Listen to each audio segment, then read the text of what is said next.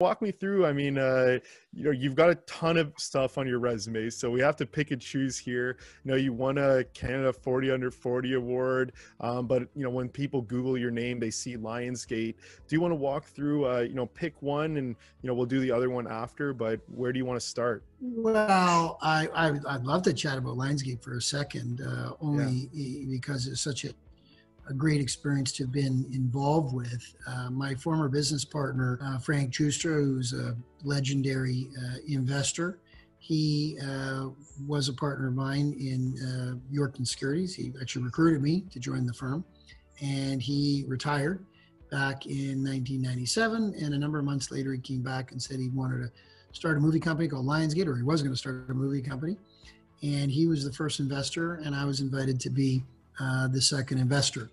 Uh, and we, being Frank and also our brokerage firm, raised in the next year or so, I think about $125 million to help launch the business. And, you know, frankly, we struggled for uh, a few years. And then in 2000, we took it public right away. Uh, we recruited a couple of uh, very seasoned and experienced and hungry media executives, Jon Feltheimer, who's the CEO of the company to this day, and Michael Burns, who's vice chairman.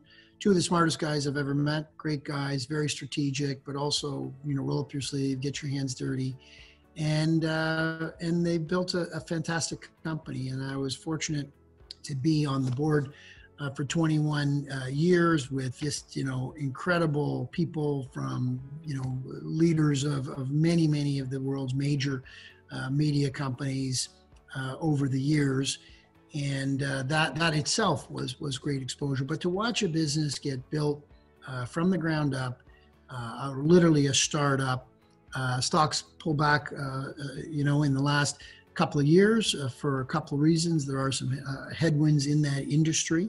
at the same time, the company's been going through a, a transformation and has become a, a, streaming company, which is obviously what everybody's focused on these days with the incredible success of, of Netflix and, and, Amazon Prime and, and, Hulu and, and Lionsgate prides itself on having Starz, which has uh, done extremely well, particularly of late, adding million new subscribers. And so it's a combination, of, uh, you know, very unique uh, content, uh, you know, considered uh, edgy and entertainment and entertaining, and some big, big success stories from, uh, you know, Mad Men in the TV world, about the the evolution of the uh, advertising world, which became very very popular. Weeds, incredibly popular. Uh, Orange is the New Black, uh, incredibly successful. Uh, you know, and there's literally tens and tens of shows on tens of networks as we speak uh, in television today.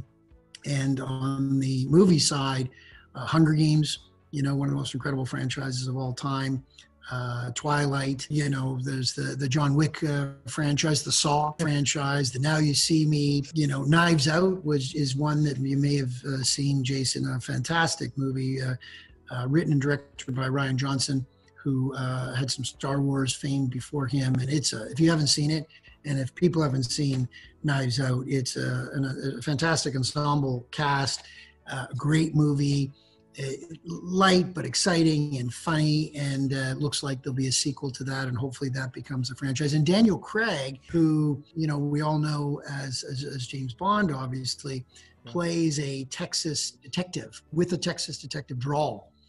And, and he does a great job at it and uh, it's just a great movie. It was a few months ago. It did very very well at the box office. Fortunately that got in before uh, covid. But just watching a business and watching executives have a combination of you know, organic growth, uh, picking where in an industry that the in, that the company could be successful relative to the media giants, because it's a business dominated by mega uh, companies. Uh, pivoting at the right time to get into the streaming business, knowing how important uh, that was. Uh, having you know so this combination of organic growth the right strategies and and the right m&a strategy and also embracing the capital markets uh, the company uh, has done a really good job of having strong shareholder base and, and really understanding how important the capital markets are uh, to build a company uh, generally, uh, let alone a public company.